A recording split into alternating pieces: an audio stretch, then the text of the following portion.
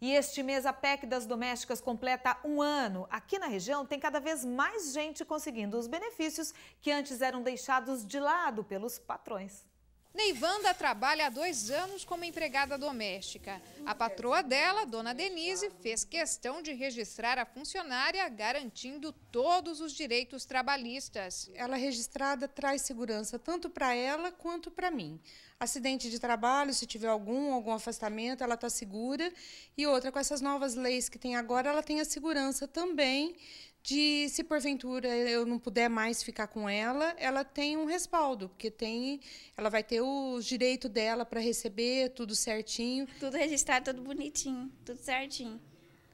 Mais segurança. Mais segurança. Elas não são as únicas com esse sentimento de segurança, não. O projeto de emenda constitucional, popularmente conhecido como PEC das Domésticas, que foi sancionado no ano passado, apresenta saldo positivo diante dos benefícios que a categoria passou a ter, como fundo de garantia do tempo de serviço, jornada máxima de 44 horas semanais, pagamento de hora extra, adicional noturno e seguro-desemprego. De acordo com o Ministério do Trabalho, entre dezembro de 2014 e março deste ano, o número de empregadas domésticas que obtiveram acesso ao FGTS saltou de aproximadamente 187 mil para mais de 1 milhão. E não para por aí. Entre janeiro e março de 2015, 68% dos trabalhadores da categoria não eram registrados. No mesmo período deste ano, foram 64%.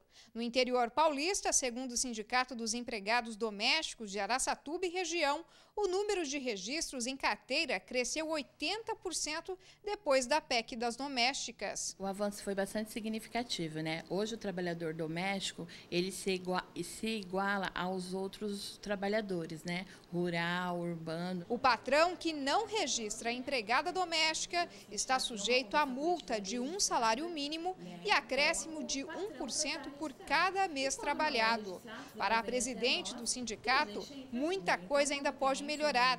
O fato é que mais pessoas têm se informado sobre o assunto para garantir todos os direitos. Elas estão vindo mais até nós, né? Os direitos delas são estão sendo garantidos por lei, né? Elas vêm nos procurar, elas querem saber o que elas precisam fazer para não ficar na informalidade, né? A gente atende média quatro domésticas por dia, né? E elas precisam vir até a gente para a gente saber o que está acontecendo.